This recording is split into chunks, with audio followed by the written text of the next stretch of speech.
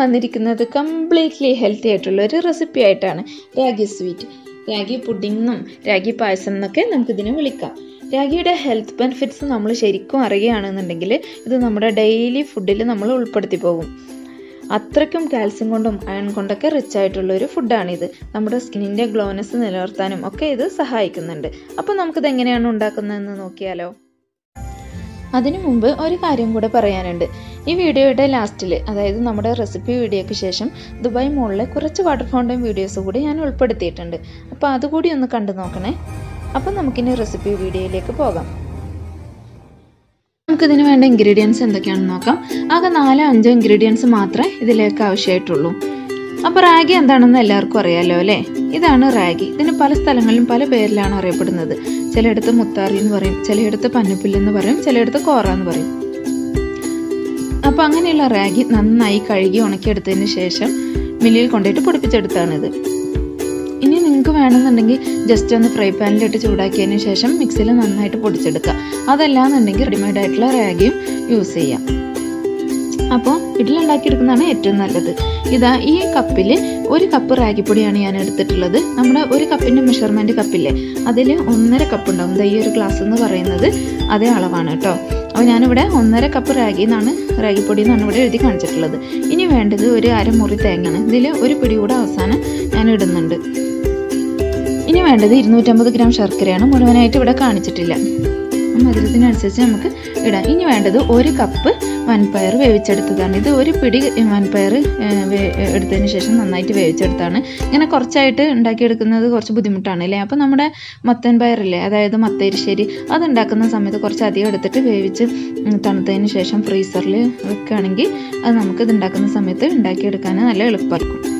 അപ്പോൾ അങ്ങനെ വെച്ചിട്ടുള്ള വൻപയറാണിത് ഇനി നമുക്ക് വേണ്ടത് മൂന്ന് കപ്പ് വെള്ളമാണ് ഒന്നര കപ്പ് റാഗിക്ക് മൂന്ന് കപ്പ് വെള്ളമാണ് ഞാനിവിടെ എടുത്തിട്ടുള്ളത്. നമ്മൾ എത്ര റാഗിപ്പൊടിയാണ് എടുക്കുന്നത്? അതിന്റെ ഇരട്ടി വെള്ളം വേണം എടുക്കാൻ.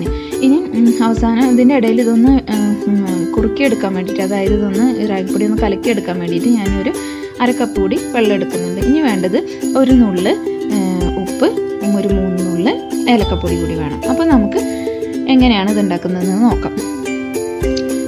അതിനായിട്ട് ഞാനൊരു പാൻ എടുത്തിട്ടുണ്ട്. ഇനി നമുക്ക് ഇതിലേക്ക് വെള്ളം ഒഴിച്ചു കൊടുക്കാം. ഞാൻ പറഞ്ഞല്ലോ മൂന്ന് കപ്പ് വെള്ളമാണ് ഞാനിവിടെ ഒഴിച്ചു കൊടുക്കുന്നത്. നമ്മൾ ഒന്നര കപ്പ് റാഗിപ്പൊടിയാണ് എടുക്കുന്നത്. അപ്പോൾ എത്രയാണ് എടുക്കുന്നത്? അതിനനുസരിച്ച് അതിന്റെ ഇരട്ടി നമ്മൾ ഒഴിച്ചു കൊടുക്കാം.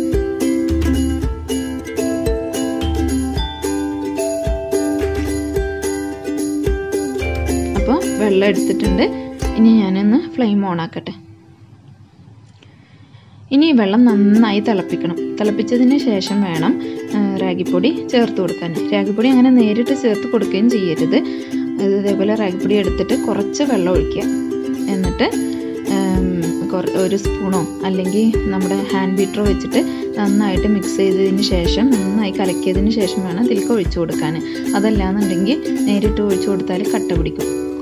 അപ്പോൾ ഒരു സ്പൂൺ വെച്ചിട്ട് നന്നായിട്ട് ഇളക്കുന്നതിലും നല്ലത് ഒരു ഹാൻഡ് ബീറ്റർ വെച്ചിട്ട് ഇളക്കുകയാണെന്നുണ്ടെങ്കിൽ തീരെ കട്ട കെട്ടാതെ കിട്ടും. ഞാൻ കുറച്ചുകൂടെ വെള്ളം ഒഴിച്ചു കൊടുക്കുന്നുണ്ട്. മൊത്തത്തിൽ ഒരു മുക്കാൽ കപ്പ് വെള്ളം കൂടെ ഞാൻ ഒഴിച്ചു കൊടുക്കുന്നുണ്ട് ഇത് ഇതിലേക്ക്. അങ്ങനെ നമുക്ക് ഇതിലേക്ക് വേണ്ടത് ഏതാണ്ട് ഒരു മൂന്ന് മുക്കാൽ കപ്പ് വെള്ളം വേണ്ടി വരും.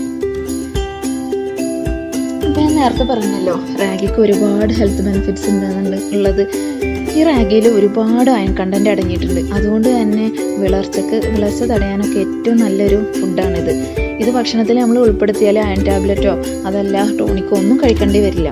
അതേപോലെ തന്നെ ശർക്കരയും ഹീമോഗ്ലോബിന്റെ എമൗണ്ട് കൂട്ടാൻ നന്നായി സഹായിക്കും. അപ്പോൾ ഇത് മൊത്തത്തിൽ ഈ റെസിപ്പി മൊത്തത്തിൽ നമ്മുടെ ബ്ലഡിന്റെ അളവ് ഇൻക്രീസ് ചെയ്യാൻ സഹായിക്കും.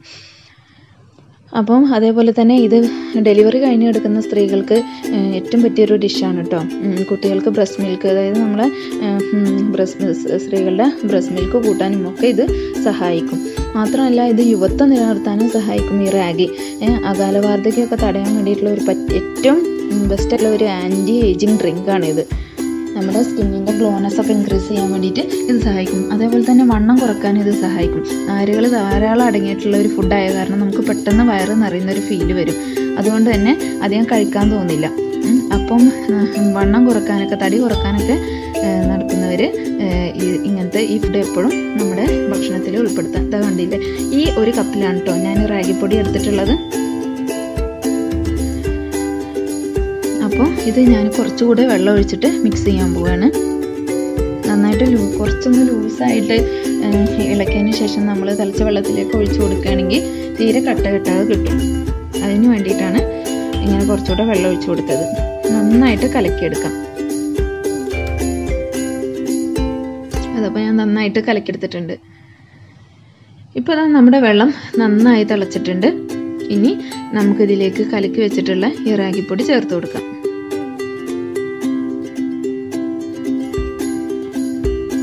നന്നായിട്ട് ഇളക്കി കൊടുക്കാം. ഇത് നമ്മൾ നേരിട്ട് നമുക്ക് വേണമെങ്കിൽ ഈ റാഗി ഉണ്ടല്ലോ നേരിട്ട് നമുക്ക് മിക്സിയിൽ പൊടിച്ച് കുറച്ച് വെള്ളം ഒഴിച്ചിട്ട് അരച്ചെടുക്കുകയും ചെയ്യാം. അങ്ങനെയാണെങ്കിൽ ഒന്ന് അരിപ്പ് വെച്ചിട്ട് ചെറിയ കുട്ടികൾക്കൊക്കെ കൊടുക്കുകയാണെങ്കിൽ ഒന്ന് അരിപ്പ് വെച്ചിട്ട് അരിച്ചതിന് ശേഷം ഇതിലേക്ക് ചേർത്ത് കൊടുത്താൽ മതി നേരിട്ട്. അപ്പോൾ ഇതേപോലെ കലക്കേണ്ട ആവശ്യമില്ല. കുറച്ച് വെള്ളം ഒഴിച്ചിട്ടാണ് നമ്മളിത് അടിക്കുക. അപ്പോൾ നന്നായിട്ട് ഇളക്കി കൊടുക്കുക.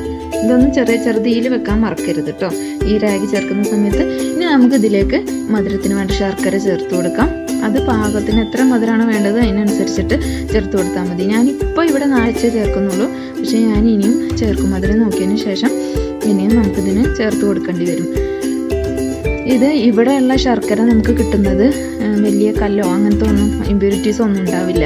അപ്പോൾ നമുക്ക് നേരിട്ട് ചേർത്ത് കൊടുക്കാൻ പറ്റും. നാട്ടിലൊക്കെ ഉള്ള ശർക്കരയാണെങ്കിൽ ഒന്ന് ഉരുക്കിയതിന് ശേഷം ഒരു സ്റ്റീൽ അരിപ്പ വെച്ചിട്ട് നന്നായിട്ട് അരിച്ചിട്ട് ഇതിലേക്ക് ഒഴിച്ചു കൊടുത്താൽ മതി. ഇനി ഞാൻ ഒരു അഞ്ച് അച്ചുകൂടി ഇട്ട് കൊടുക്കുകയാണ്. അഞ്ച് അച്ച് ശർക്കര കൂടി നമുക്ക് ഇതിലേക്ക് വേണ്ടി വരും. ഇത് ചെറിയ അച്ചായ കാരണം കേട്ടോ. ഇത്ര ചേർക്കേണ്ടി വരുന്നത് വളരെ പിന്നെ കനം കുറഞ്ഞിട്ടുള്ള അച്ചാണ്. അതുകൊണ്ടാണ് ഇതിലേക്ക് ഇത്ര അധികം ചേർത്ത് കൊടുക്കേണ്ടി വരുന്ന വരുന്നത്. മാത്രമല്ല ഞാൻ കുറച്ചധികം രാഗി എടുത്തിട്ടുണ്ട്. എന്റെ നെബേഴ്സിനൊക്കെ കൊടുക്കാൻ വേണ്ടിയിട്ട് കുറച്ചധികം രാഗി എടുത്തിട്ടുണ്ട്. ഇനി നിങ്ങൾക്ക് ഒരു നാല് പേരൊക്കെ ഉള്ള വീട്ടിലാണെങ്കിൽ ഒരു അര കപ്പ് റാഗി മാത്രം എടുത്താൽ മതിയാവും ഒരുപാട് ഉണ്ടാവും. എന്നാലും നമുക്ക് ഒരുപാട് കഴിക്കാനുണ്ടാവും. അപ്പോൾ ഇതൊന്ന് ജസ്റ്റ് ഒന്ന് ഉടച്ചു കൊടുക്കാം. ഞാൻ മധുരം നോക്കി. അപ്പം മധുരം ഇതിലേക്ക് പോലെ ഇനിയും നമുക്ക് ചേർത്ത് കൊടുക്കേണ്ടി വരും. നല്ല മധുരം ഉണ്ടെങ്കിലാണ് ഇതിന് ടേസ്റ്റ് ഉണ്ടാവുള്ളൂ. അപ്പോൾ നന്നായിട്ട് മിക്സ് ചെയ്ത് കൊടുക്കാം. ഇത് നല്ല ഹെൽത്തി ആയിട്ടുള്ളൊരു പായസം തന്നെ പായസമാണെന്ന് തന്നെ പറയാം.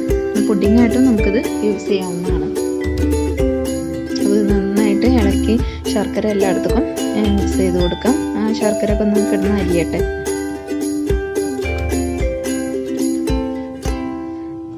ഇപ്പോഴും ഇതിൽ കുറച്ച് മധുരത്തിന്റെ കുറവുണ്ട്. അപ്പം ഞാനൊരു മൂന്ന് ബ്ലോക്ക് ശർക്കര കൂടി ചേർത്ത് കൊടുക്കുന്നുണ്ട്. ഇത് നല്ല ഡാർക്കായിട്ടുള്ള ശർക്കരയാണ് കേട്ടോ അതുകൊണ്ടാണ് കളർ ഇങ്ങനെ വരുന്നത്. നമ്മുടെ വൈറ്റ് ആയിട്ടുള്ള ഒരു വൈറ്റ് ശർക്കര ഉണ്ടല്ലോ അതാണ് ചേർത്ത് കൊടുക്കുന്നുണ്ടെങ്കിൽ ഇങ്ങനെ ഇത്ര കളർ ഉണ്ടാവില്ല.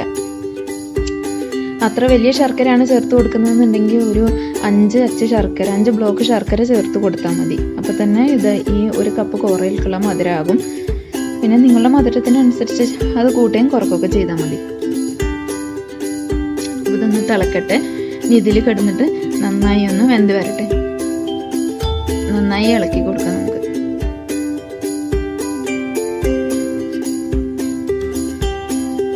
കോറ നന്നായി തിളക്കുന്നുണ്ട്.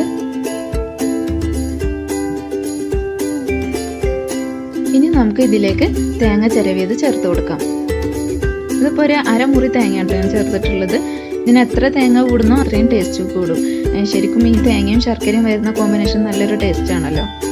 ഇത് ഇട്ട് കൊടുക്കുമ്പോൾ തന്നെ നല്ലൊരു സ്മെല്ലാണ് കേട്ടോ വരിക. ഇതിൽ കൂടെ നമ്മൾ കുറച്ച് ഏലക്കപ്പൊടി കൂടി ഇട്ട് കൊടുക്കും. അപ്പോൾ നല്ലൊരു സ്മെല്ലാണ് വരുന്നത്. നല്ലൊരു ശർക്കര പായസത്തിന്റെ ഒക്കെ ഒരു ടേസ്റ്റ് വരും. ഇത് ശരിക്കും കോറയാണെന്ന് നമുക്ക് കഴിക്കുമ്പോൾ തോന്നുകയില്ല. കോറ ഇഷ്ടമില്ലാത്തവരൊക്കെ അതായത് റാഗി ഇഷ്ടമില്ലാത്തവരൊക്കെ ഇങ്ങനെ ഉണ്ടാക്കി കഴിച്ചാൽ മതി. ശരീരത്തിനും നല്ലതാണ്. പിന്നെ കുട്ടികൾക്കും തന്നെ നമ്മൾ ഇപ്പോൾ ഒരു വയസ്സിന് ശേഷമുള്ള കുട്ടികൾക്കൊക്കെ ആണെങ്കിൽ നമുക്ക് ഇങ്ങനെ കൊടുക്കാം. ഇനി നമുക്ക് ഇതിലേക്ക് വൻപയർ ചേർത്ത് കൊടുക്കാം. ഇതിന് പകരമായിട്ട് മുതിര വേവിച്ചതും ചേർക്കാം.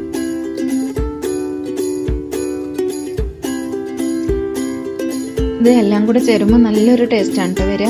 ശർക്കരയും തേങ്ങയും ഈ വൻപയറും എല്ലാം കൂടി വരുമ്പോൾ നല്ലൊരു ടേസ്റ്റാണ് അതിന്റെ ഇടയിൽ കൂടെ ആ തേങ്ങയും വൻപയറൊക്കെ കളിക്കുമ്പോൾ നല്ലൊരു പ്രത്യേക ടേസ്റ്റ് തന്നെയാണ്. നല്ലൊരു സ്മെല്ലുമാണ് ഇപ്പോൾ വരുന്നത്. ഇതെല്ലാം കൂടി നന്നായിട്ട് മിക്സ് ചെയ്ത് കൊടുക്കണം. ഒരു രണ്ട് മിനിറ്റ് ഇങ്ങനെ കിടന്നൊന്ന് വേവട്ടെ.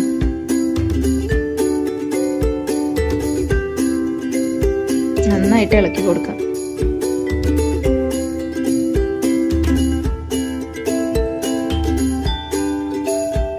ഇപ്പം എല്ലാം കൂടെ നന്നായി യോജിച്ച് വന്നിട്ടുണ്ട്.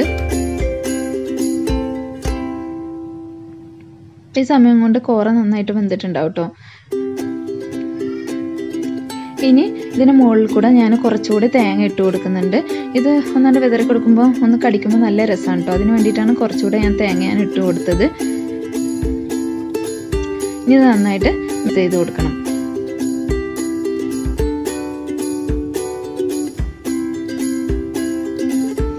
ഇപ്പം നമ്മൾ കുട്ടികൾക്കൊക്കെ ഒരു ഒരു വയസ്സാകുമ്പോഴത്തേക്കൊക്കെ ഈ കോറൊക്കെ മടുക്കുമല്ലോ.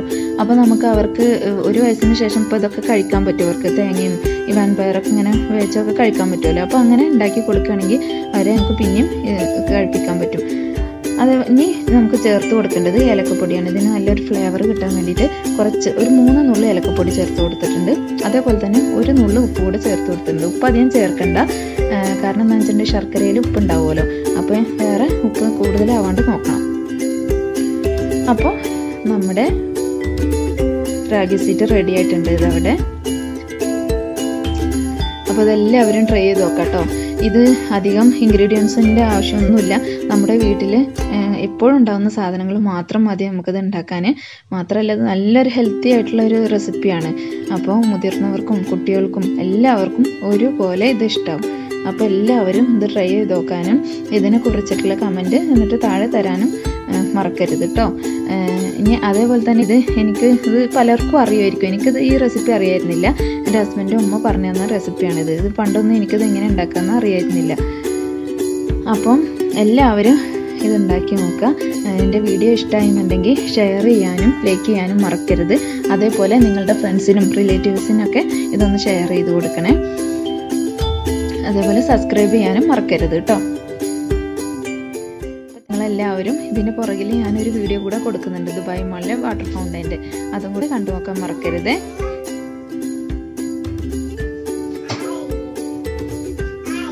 താങ്ക് യു ഇനി അടുത്ത റെസിപ്പിയായിട്ട് വരാം.